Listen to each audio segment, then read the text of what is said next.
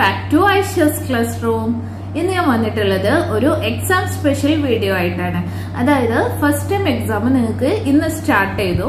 ഇനി അടുത്തത് next Tuesday ആണ് നമ്മുടെ ബയോളജി എക്സാം വരുന്നത്. ഓക്കെ ഇനി ആ എക്സാമിലേക്ക് നിങ്ങൾ എല്ലാവരും റിവിഷൻ ഒക്കെ സ്റ്റാർട്ട് ചെയ്തിട്ടുണ്ടാവും. നമ്മൾ പോർഷൻസും കംപ്ലീറ്റ് ആയി പഠിച്ചതാണ്. ഇന്ന് നമുക്ക് ഒരു പ്രീവിയസ് ക്വസ്റ്റ്യൻ പേപ്പർ നോക്കാം. അതായത് ടൂ തൗസൻഡ് എയ്റ്റീൻ കഴിഞ്ഞ വർഷത്തെ ഫസ്റ്റ് ടൈം എക്സാമിന്റെ ക്വസ്റ്റ്യൻ പേപ്പർ എന്റെ കയ്യിലുണ്ട്. ഓക്കെ നമുക്കിന്ന് ഇതൊന്ന് റെഫർ ചെയ്ത് നോക്കാം. ഈ ക്വസ്റ്റ്യൻ പേപ്പർ ഞാൻ മലയാളം മീഡിയത്തിനും ഇംഗ്ലീഷ് മീഡിയത്തിനും ഒറ്റ വീഡിയോ തന്നെയാണ് ചെയ്യുന്നത്. ഇതിൽ ഫസ്റ്റ് മലയാളം മീഡിയത്തിന്റെ ക്വസ്റ്റ്യൻ പേപ്പർ ഡിസ്കസ് ചെയ്ത ശേഷം ഇംഗ്ലീഷ് മീഡിയത്തിന്റെ ഡിസ്കസ് ചെയ്യുന്നതാണ്. Okay let start question paper നമുക്ക് നോക്കാം. നാൽപ്പത് മിനിറ്റുള്ള ആണ്. ഇരുപത് മാർക്കിലാണ് ക്വസ്റ്റ്യന് ഒന്ന് മുതൽ മൂന്ന് വരെയുള്ള എല്ലാ ചോദ്യങ്ങൾക്കും ഉത്തരം എഴുതുക. ഒരു സ്കോറ് വീതം. കോശവിജ്ഞാനീയത്തിൽ സുപ്രധാന സംഭാവനകൾ നൽകിയ ശാസ്ത്രജ്ഞന്മാരുടെ പേരുകൾ നൽകിയിരിക്കുന്നു. ഒന്ന് റോബർട്ട് ഹൂക്ക്. രണ്ട് റുഡോൾഫ് വിഷ. മൂന്ന് എം ജെ ശ്ലീഡൻ. നാല് തിയോഡർ ഷാൻ. ഇവരിൽ കോശ സിദ്ധാന്തം രൂപപ്പെടുത്തിയ ശാസ്ത്രജ്ഞന്മാരെ കണ്ടെത്തി ശരിയായ ഉത്തരം തിരഞ്ഞെടുത്തെഴുതുക. അതായത് ഈ തന്നിരിക്കുന്ന നാല് ശാസ്ത്രജ്ഞന്മാരിൽ ആരാണ് കോശ സിദ്ധാന്തം രൂപപ്പെടുത്തിയത്? രണ്ട് ശാസ്ത്രജ്ഞന്മാരുണ്ട്. അത് ഏതാണെന്നാണ് ചോദിച്ചത്. നമ്മൾ പഠിച്ചതാണ് എം ജെ ശ്ലീഡനും തിയോഡർ ഷാനും. ഓപ്ഷൻ ത്രീ ഫോർ അല്ലേ? ഓപ്ഷൻ ബി ത്രീ ഫോറാണ് കറക്റ്റ് ആൻസർ രണ്ടാമത്തെ ചോദ്യം മാങ്ങ പഴുക്കുമ്പോൾ അതിന്റെ നിറം മഞ്ഞയായി മാറുന്നു. ഈ നിറം മാറ്റത്തിന് കാരണം എഴുതുക. ഫലങ്ങൾ പാകമാകുന്നതിനനുസരിച്ച് ഹരിതകണങ്ങൾ വർണകണങ്ങളായി മാറുന്നു. ഇതാണ് മാങ്ങയിലെ നിറം മാറ്റത്തിന് കാരണം. മൂന്നാമത്തെ ചോദ്യം ഒരു ജന്തുകല. നിർവഹിക്കുന്ന ധർമ്മം ബോക്സിൽ നൽകിയിരിക്കുന്നു. ശരീരത്തിനകത്തും പുറത്തുമുള്ള മാറ്റങ്ങളെ തിരിച്ചറിഞ്ഞ് പ്രതികരിക്കുന്നു. ജന്തുകല ഏതെന്ന് തിരിച്ചറിഞ്ഞ് പേരെഴുതുക. അതായത് ഒരു ജന്തുകലയുടെ ധർമ്മമാണ് ഇവിടെ കൊടുത്തിട്ടുള്ളത്. ശരീരത്തിനകത്തും പുറത്തുമുള്ള മാറ്റങ്ങളെ തിരിച്ചറിഞ്ഞ് പ്രതികരിക്കുന്നു എന്ന്. ഇവിടെ ജന്തുകലയുടെ പേരാണ് ചോദിച്ചത്. ഈ ധർമ്മം നിർവഹിക്കുന്ന ജന്തുകല നാഡീകലയാണ്. നാല് മുതൽ ഒമ്പത് വരെയുള്ള ചോദ്യങ്ങൾക്ക് ഏതെങ്കിലും നാലെണ്ണത്തിന് ഉത്തരം എഴുതിയാൽ മതി. രണ്ട് സ്കോറ് വീതമാണ്. നാലാമത്തെ ക്വസ്റ്റ്യൻ പട്ടികയിൽ നൽകിയിരിക്കുന്ന സൂചനകൾ വിശകലനം ചെയ്ത് വിട്ട ഭാഗം പൂരിപ്പിക്കുക. ധർമ്മം കോശാംഗം. ഇവിടെ ധർമ്മവും കോശാംഗവുമാണ് കൊടുത്തിട്ടുള്ളത്. ഇതിൽ ധർമ്മവും കോശാംഗവും വായിച്ചിട്ട് ചില വിട്ടുപോയ ഭാഗങ്ങളാണ് നമ്മൾ പൂരിപ്പിക്കേണ്ടത്. മാംസനിർമ്മാണ കേന്ദ്രം. മാംസനിർമ്മാണ കേന്ദ്രം ഏതാണെന്ന് നമുക്കറിയാം. റൈബസോമാണ് മാംസനിർമ്മാണ കേന്ദ്രം. അടുത്തത് ബി. ബീന്റെ ഉത്തരമായിട്ട് എഴുതേണ്ടത് മൈറ്റോകോൺട്രിയോണിന്റെ ധർമ്മമാണ്. മൈറ്റോകോൺട്രിയോണിന്റെ ധർമ്മം കോശത്തിലെ ഊർജ നിലയം ഊർജ നിർമ്മാണത്തിനും സംഭരണത്തിനും സഹായിക്കുന്നു. ഇനി സി. രാസാഗ്നികൾ ഹോർമോണുകൾ ശ്ലേഷ്മരസം തുടങ്ങിയ കോശസ്രവങ്ങളെ ചെറുസ്തര സഞ്ചികളിലാക്കുന്നു ഇതിന്റെ കോശാംഗം ഗോൾജ് കോംപ്ലക്സ് ആണ്. അടുത്തതായിട്ട് ഡി ഇവിടെ ഫാനത്തിന്റെ ധർമ്മമാണ് എഴുതേണ്ടത്. ലവണം ജലം വിസർജ്യ വസ്തുക്കൾ എന്നിവ സംഭരിക്കുന്നു. ഇതാണ് ഫാനത്തിന്റെ ധർമ്മം. അഞ്ചാമത്തെ ചോദ്യം ബാക്ടീരിയ അമീബ തവള മൈക്കോപ്ലാസ്മ മാവ്. എ ബോക്സിൽ നൽകിയിരിക്കുന്ന ജീവികളിലെ കോശങ്ങളിൽ വ്യക്തമായ മർമ്മം ഇല്ലാത്ത ജീവികളെ തിരഞ്ഞെടുത്തെഴുതുക. ഇതിൽ വ്യക്തമായ മർമ്മമില്ലാത്ത ജീവികൾ ബാക്ടീരിയയും മൈക്കോപ്ലാസ്മയുമാണ്. അഞ്ചാമത്തെ ക്വസ്റ്റ്യനിൽ ബി ചോദിച്ചിരിക്കുന്നത് ഇവ ഉൾപ്പെടുന്ന ജീവി വിഭാഗം ഏതെന്ന് എഴുതുക എന്നാണ്. ഇവ ഉൾപ്പെടുന്ന ജീവി വിഭാഗം പ്രോകാരിയോട്സ് ആണ്. പ്രോകാരിയോട്സ് എന്ന് പറഞ്ഞാൽ വ്യക്തമായ മർമ്മമില്ലാത്ത ജീവികളുടെ വിഭാഗത്തെയാണ് പ്രോകാരിയോട്സ് എന്ന് പറയുന്നത്. ആറാമത്തെ ചോദ്യം ചുവടെ നൽകിയിരിക്കുന്ന പ്രസ്താവനകളിൽ സ്ക്ലീറൻ കൈമുക്ക് അനുയോജ്യമായവ തിരഞ്ഞെടുത്തെഴുതുക. എ ഏറ്റവും ലഘുഘടനയുള്ള കോശങ്ങൾ ചേർന്നത് ബി കോശഭിത്തിയുടെ എല്ലാ ഭാഗത്തും ഒരുപോലെ കട്ടി കൂടിയ തരം കോശങ്ങൾ ചേർന്നത് പ്രകാശ സംശ്ലേഷണത്തിനു സഹായിക്കുന്നു. സസ്യഭാഗങ്ങൾക്ക് താങ്ങും ബലവും നൽകുന്നു. ഇതാണ് ഓപ്ഷൻ ഡി. ഓക്കെ ഇതിൽ സ്ക്ലീറൻ കൈമക്ക് അനുയോജ്യമായത് ബിയും ഡിയുമാണ്. അതായത് കോശഭിത്തിയുടെ എല്ലാ ഭാഗത്തും ഒരുപോലെ കട്ടി കൂടിയ തരം കോശങ്ങൾ ചേർന്നതും സസ്യഭാഗങ്ങൾക്ക് താങ്ങും ബലവും നൽകുന്നതുമാണ് സ്ക്ലീറൻ കൈമക്ക് അനുയോജ്യമായത്. ഏഴാമത്തെ ചോദ്യം. കലകൾ ചേർന്നാണ് അവയവങ്ങൾ ഉണ്ടാകുന്നത്. കുടൽ എന്ന അവയവത്തെ ഉദാഹരണമായി എടുത്ത് ഈ പ്രസ്താവന സാധൂകരിക്കുക എന്നാണ് പറഞ്ഞത്. കലകൾ ചേർന്നാണ് അവയവങ്ങൾ ഉണ്ടാകുന്നത്. നാഡീകല ആവരണകല യോജകകല പേശികല എന്നീ കലകൾ കൂടി ചേർന്നാണ് കുടൽ എന്ന അവയവം രൂപപ്പെട്ടിരിക്കുന്നത്. ഈ കലകൾ നിർവഹിക്കുന്ന ധർമ്മങ്ങൾ തന്നെയാണ് അവ ചേർന്നുണ്ടായ അവയവമായ കുടലും നിർവഹിക്കുന്നത്. ഇത്തരം കാര്യങ്ങൾ ഉൾപ്പെടുത്തി വേണം നിങ്ങൾ ഈ ചോദ്യത്തിന് ഉത്തരം എഴുതാൻ. അടുത്തതായിട്ട് എട്ടാമത്തെ ചോദ്യം. ചിത്രം നിരീക്ഷിച്ച് ചോദ്യങ്ങൾക്ക് ഉത്തരം എഴുതുക. Question A. തന്നിരിക്കുന്ന സസ്യകല ഏതെന്ന് തിരിച്ചറിഞ്ഞെഴുതുക. തന്നിരിക്കുന്ന സസ്യകല കോളൻ കൈമയാണ്. ബി മൈക്രോസ്കോപ്പിലൂടെ നിരീക്ഷിക്കുമ്പോൾ ഈ കലയെ തിരിച്ചറിയുന്നതിന് സഹായിക്കുന്ന പ്രത്യേകത എഴുതുക. മൈക്രോസ്കോപ്പിലൂടെ നിരീക്ഷിക്കുമ്പോൾ ഈ കലയെ തിരിച്ചറിയുന്നതിന് സഹായിക്കുന്ന പ്രത്യേകത കോശഭിത്തിയുടെ മൂലകളിൽ മാത്രം കട്ടി കൂടിയ തരം കോശങ്ങൾ ചേർന്നതാണ് എന്നതാണ്. ചോദ്യം ഒമ്പത് വിത്തുകോശ ഗവേഷണ രംഗത്ത് വൻ മുന്നേറ്റം. ഈ വിഷയവുമായി ബന്ധപ്പെട്ട സയൻസ് സെമിനാറിൽ അവതരിപ്പിക്കുന്നതിന് രണ്ട് ആശയങ്ങൾ നിർദ്ദേശിക്കുക. രണ്ട് ആശയങ്ങൾ പറയാം. പ്രമേഹം രക്താർബുദം എന്നീ രോഗ ചികിത്സയിൽ വിത്തുകോശ ഗവേഷണ രംഗത്തെ പ്രാധാന്യം. രണ്ടാമതായി കൃത്രിമാവയവങ്ങൾ രൂപപ്പെടുത്തുന്നതിൽ വിത്തുകോശ ഗവേഷണ രംഗത്തെ പ്രാധാന്യം. ഇത് രണ്ടുമാവട്ടെ നിങ്ങളുടെ ആശയങ്ങൾ. ഇവിടെ പത്താമത്തെ ചോദ്യം. ചിത്രം പകർത്തി വരച്ച് ചുവടെ കൊടുത്തിരിക്കുന്ന സവിശേഷതകളുള്ള ഭാഗങ്ങളുടെ പേരെഴുതി അടയാളപ്പെടുത്തുക. അപ്പോൾ നിങ്ങൾ ആദ്യം ചിത്രം പകർത്തി വരയ്ക്കുക. എന്നിട്ട് ചോദ്യം എ. മർമ്മദ്രവ്യത്തിന്റെ വലക്കണ്ണികൾ പോലെ കെട്ടുപിണഞ്ഞ് കാണപ്പെടുന്നു. അതേതു ഭാഗമാണ്? ക്രൊമാറ്റിൻ ജാലികയാണ്. ഓക്കെ. ബി. പറയുന്നത് റൈബോസോമുകളുടെ നിർമ്മാണത്തിൽ പ്രധാന പങ്ക് വഹിക്കുന്നു. റൈബോസോമുകളുടെ നിർമ്മാണത്തിൽ പ്രധാന പങ്ക് വഹിക്കുന്നത് മർമ്മകം ആണ്. പതിനൊന്നാമത്തെ ചോദ്യം ജൈവ കണങ്ങളുമായി ബന്ധപ്പെട്ട് നൽകിയിരിക്കുന്ന ചിത്രീകരണം പൂർത്തീകരിക്കുക എന്നാണ്. ജൈവകണം ശ്വേതകണം എ വർണകണം എന്നിങ്ങനെയാണ് കൊടുത്തത്. ഇവിടെ എയിൽ ഹരിതഗണമാണ് വരിക. ഹരിതഗണം പ്രകാശ സംശ്ലേഷണം. ശ്വേതഗണം നിറമില്ലാത്ത ജൈവഗണം എന്നാണ് ബിയിൽ ആൻസർ വരാം. നിറമില്ലാത്ത വർണഗണം വർണഗണത്തിന് താഴെ സീൽ വരുന്നത് പൂക്കൾ ഫലങ്ങൾ എന്നിവയ്ക്ക് നിറം നൽകുന്നു. ഇത്രയുമാണ് ഈ ചിത്രീകരണത്തിന്റെ പൂർത്തീകരണം. പന്ത്രണ്ടാമത്തെ ചോദ്യം. സസ്യകോശങ്ങളുമായി ബന്ധപ്പെട്ട് തന്നിരിക്കുന്ന സൂചകങ്ങളെ ഉചിതമായ തലക്കെട്ടുകൾ നൽകി തരംതിരിച്ച് പട്ടികപ്പെടുത്തുക. സൂചകങ്ങൾ കട്ടി കുറഞ്ഞ കോശഭിത്തി കോശദ്രവ്യത്തിന്റെ അളവ് കുറവ് താരതമ്യേന വലിയ മർമ്മം കട്ടി കൂടിയ ദ്വിതീയ ഭിത്തി. ഈ കാര്യങ്ങൾ വായിച്ചാൽ തന്നെ നമുക്കറിയാം ഇത് മെരിസ്റ്റമിക കോശവും പൂർണ വളർച്ചയെത്തിയ കോശത്തെയും കുറിച്ചാണെന്ന്. അപ്പം ഒരു ഇതിന്റെ തലക്കെട്ടായിട്ട് ഒരു ബോക്സിന്റെ തലക്കെട്ടായിട്ട് മെരിസ്റ്റമിക കോശമെന്നും രണ്ടാമത്തേന്റെ തലക്കെട്ടായിട്ട് പൂർണ വളർച്ചയെത്തിയ കോശമെന്നും നൽകാം. മെരിസ്റ്റമിക കോശത്തിന് താഴെയായിട്ട് എഴുതാം കട്ടി കുറഞ്ഞ കോശഭിത്തി താരതമ്യേന വലിയ മർമ്മം. എന്നിട്ട് പൂർണ വളർച്ചയെത്തിയ കോശത്തിന് താഴെ എഴുതാം കോശദ്രവ്യത്തിന്റെ അളവ് കുറവ് കട്ടി കൂടിയ ദ്വിതീയ ഭിത്തി. ബോക്സിൽ നൽകിയിരിക്കുന്നവയിൽ നിന്ന് ഉചിതമായവ തിരഞ്ഞെടുത്ത് ചിത്രീകരണം പൂർത്തീകരിക്കുക. ഇതാണ് ചോദ്യം. കോശഭിത്തി റൈബസോം ഹരിതകണം ലൈസോസോം മർമ്മം സെൻട്രോസോം. ഇത്രയുമാണ് ബോക്സിൽ നൽകിയിരിക്കുന്നത്.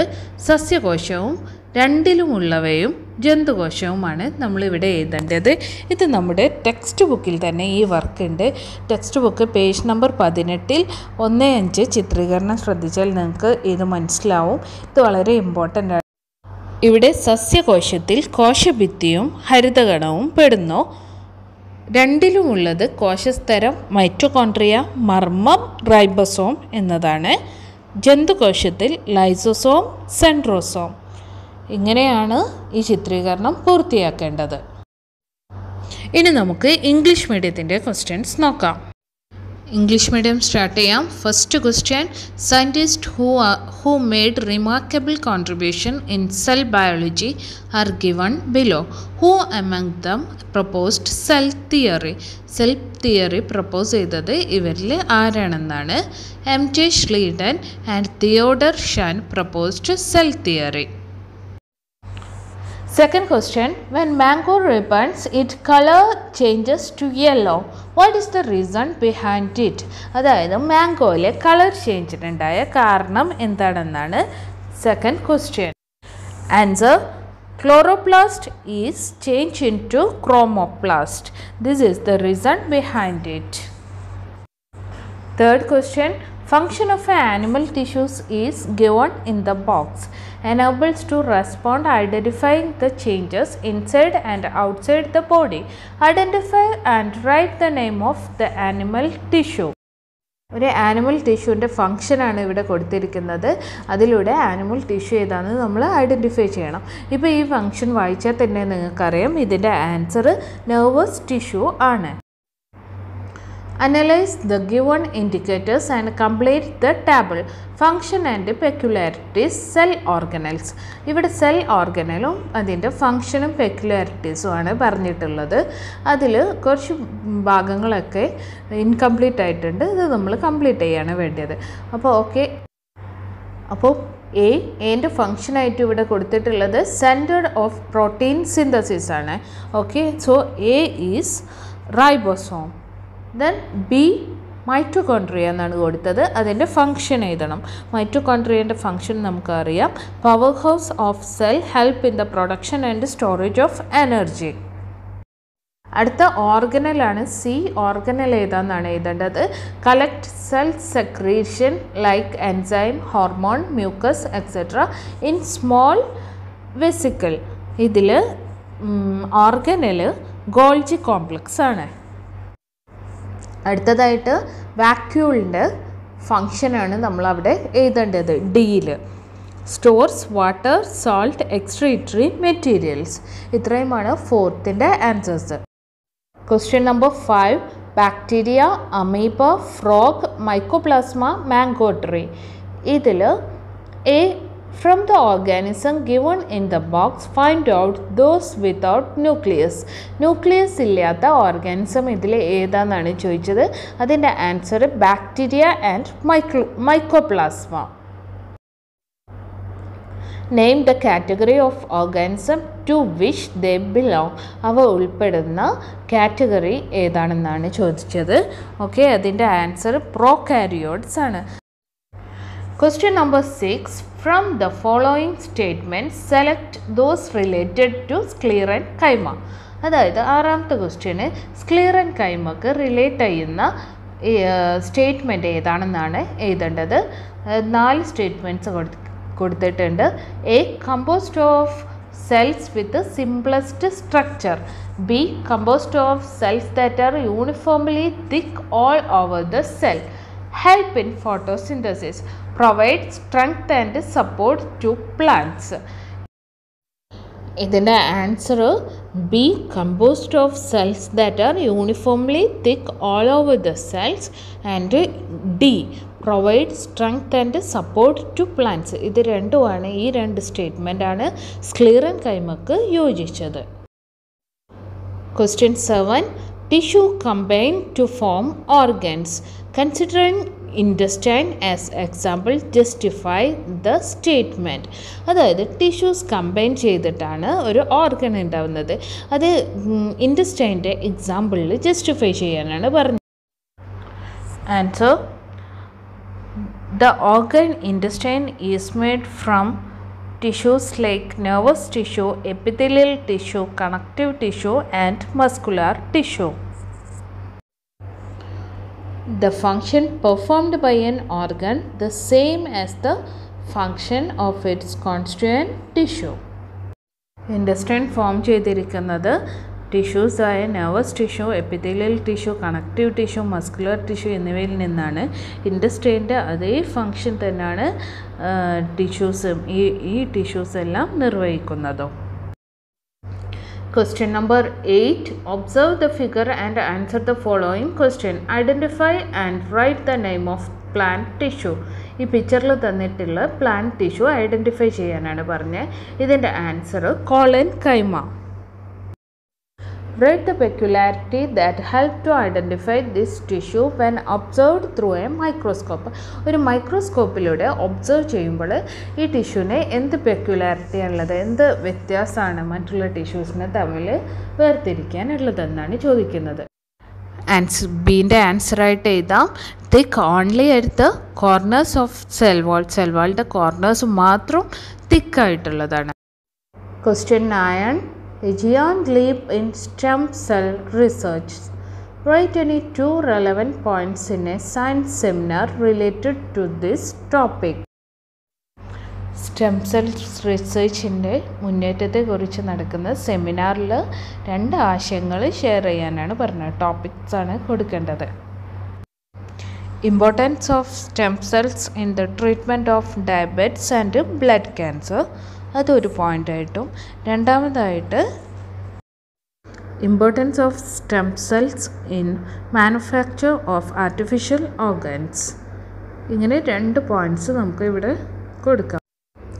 Question number ten copy the given diagram ഈ ഡയഗ്രാം നമ്മൾ ആൻസർ ഷീറ്റിലേക്ക് കോപ്പി ചെയ്ത് വരയ്ക്കാം. Identify name and label the parts by the hints given below താഴെ കൊടുത്തിരിക്കുന്ന ഹിൻസിന്റെ അടിസ്ഥാനത്തിൽ പാർട്സ് ഐഡന്റിഫൈ ചെയ്ത് ലേബൽ ചെയ്യാനാണ് പറയുന്നത്. ഫസ്റ്റ് ഹിന്റായിട്ട് കൊടുത്തത് they are seen as a network in a nucleoplasm ന്യൂക്ലിയോ പ്ലാസത്തിലെ നെറ്റ്വർക്കായിട്ട് കാണപ്പെടുന്നത് ഏതാണെന്നാണ്? ഇതിന്റെ ആൻസർ ക്രൊമാറ്റിൻ റെറ്റിക്കുലമാണ് ക്രൊമാറ്റിൻ റെറ്റിക്കുലം ലേബൽ ചെയ്യാം. Play a major role in the synthesis of ribosome ribosome സിന്തസിസിന് major role വഹിക്കുന്നത് ന്യൂക്ലിയോലസ് ഇതും മെഷ് ലാബിൽ ചെയ്യാം. Eleven complete the illustration related to plastids പ്ലാ പ്ലാസ്റ്റിഡ്സിനെ റിലേറ്റ് ചെയ്തിട്ടുള്ള ഈ ഇലുസ്ട്രേഷൻ കംപ്ലീറ്റ് ചെയ്യാനാണ്. പ്ലാസ്റ്റിഡ്സ് ത്രീ ടൈപ്സ് ഉണ്ട്. ല്യൂക്കോപ്ലാസ്റ്റ് ക്രോമോപ്ലാസ്റ്റ് ഏലുവേര വര ക്ലോറോപ്ലാസ്റ്റ് ആണ് ക്ലോറോപ്ലാസ്റ്റ് ഫോട്ടോസിന്തസിസിന് ഹെൽപ്പ് ചെയ്യുന്നു. ല്യൂക്കോപ്ലാസ്റ്റിന്റെ താഴെ നമുക്ക് എഴുതാം. Are seen in plenty in the cells for food materials are stored food materials store ചെയ്യുന്ന സെൽസിൽ കൂടുതലായി കാണുന്നതാണ്. ക്ലോറോപ്ലാസ്റ്റിന് താഴെ ഫോട്ടോസിന്തസിസ് ഉണ്ട് chromoplast impart colour to flowers and fruits ഫ്ലവേഴ്സിനും ഫ്രൂട്ട്സിനും ഒക്കെ കളർ ഇമ്പാർട്ട് ചെയ്യുന്നത് ക്രോമോപ്ലാസ്റ്റ് ആണ് question number twelve statements related to plant cells are given below arrange them suitably in the given table and give title അതായത് plant സെൽസിനെ കുറിച്ചുള്ള കുറച്ച് statements ആണ് ഇവിടെ കൊടുത്തത്. യോജിച്ച ഒരു ടൈറ്റിൽ കൊടുത്തിട്ട് ഇതിനെ സെപ്പറേറ്റ് ചെയ്യാനാണ് പറയുന്നത് ഈ സ്റ്റേറ്റ്മെന്റ്സിന് അപ്പോൾ നമുക്ക് സ്റ്റേറ്റ്മെന്റ്സ് നോക്കാം. Comparatively thin cell wall comparatively large nucleus less amount of cytoplasm thick secondary wall ഈ സ്റ്റേറ്റ്മെന്റ് വായിച്ചാൽ തന്നെ നമുക്കറിയാം. ഇത് മെരിസ്റ്റമാറ്റിക് സെൽസും മെച്യൂർ സെൽസിന്റെയും ഡിഫറൻസ് ആണ്. അപ്പോൾ ഒരു കോളത്തിൽ മെരിസ്റ്റമാറ്റിക് സെല്ലെന്നും മറ്റേതിൽ മെച്യൂർ സെല്ലെന്നും എഴുതാം. എന്നിട്ട് കമ്പാരിറ്റീവ്ലി തിൻ വാളാണ് മെരിസ്റ്റമാറ്റിക് സെല്ലിൽ കമ്പാരിറ്റീവ്ലി ലാർജ് ന്യൂക്ലിയസ് ആണ് മെരിസ്റ്റമാറ്റിക് സെല്ലിൽ വരാം. Less amount of cytoplasm in mature cell thick secondary wall in mature cell ഇതുപോലെ നമുക്കിത് അറേഞ്ച് ചെയ്യാൻ പറ്റുന്നതാണ്. ഇനി നമുക്ക് ലാസ്റ്റ് ക്വസ്റ്റ്യൻ നോക്കാം. Some cell components are given in the box pick out the suitable cell components and complete the illustration ഈ illustration complete ചെയ്യാനാണ് പറയുന്നത് ബോക്സിലുള്ള കോമ്പണൻസിന്റെ ഹെൽപ്പോട് കൂടിയിട്ട്. ഇതിൽ സെൽ വാളും ക്ലോറോപ്ലാസ്റ്റും പ്ലാന്റ് സെല്ലിലും ന്യൂക്ലിയസും റൈബോസോമും കോമൺ ഫോർ ബോത്തും ആനിമൽ സെല്ലിൽ സെൻട്രോമോ സെൻട്രോസോമും ലൈസോസോമും പെടുന്നു. ഇത്രയുമാണ് ഈ ക്വസ്റ്റ്യൻ പേപ്പറിൽ വന്നിട്ടുള്ള ക്വസ്റ്റ്യൻസ് ഇതൊക്കെ വളരെ സിമ്പിളാണ് ഇതേപോലെ തന്നെ നിങ്ങൾ എക്സാമും നല്ല സിമ്പിളായിരിക്കട്ടെ എല്ലാവരും നന്നായിട്ട് പഠിച്ചിട്ട് എക്സാം അറ്റൻഡ് ചെയ്യുക. എക്സാം എങ്ങനെ ഉണ്ടായിരുന്നു എന്നുള്ളതും എന്റെ കമന്റ് ബോക്സിൽ ഒന്ന് കമന്റ് ചെയ്യണം. ഓക്കെ ഓൾ ദ ബെസ്റ്റ് ഇനിയും എന്റെ ചാനൽ സബ്സ്ക്രൈബ് ചെയ്യാത്തവരുണ്ടെങ്കിൽ സബ്സ്ക്രൈബ് ചെയ്യുക. ഇന്നത്തെ എന്റെ ക്വസ്റ്റ്യൻ പേപ്പർ ഡിസ്കഷൻ എല്ലാവർക്കും ഉപകാരപ്പെട്ടെന്ന് പ്രതീക്ഷിക്കുന്നു. ഇഷ്ടമായെങ്കിൽ ലൈക്ക് ചെയ്യുക.